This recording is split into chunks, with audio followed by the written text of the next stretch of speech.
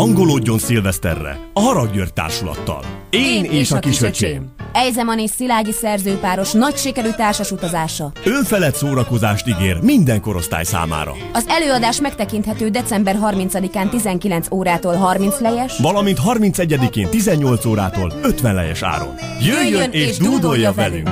Én és a kisöcsém, ügyülünk a nőkre az idén.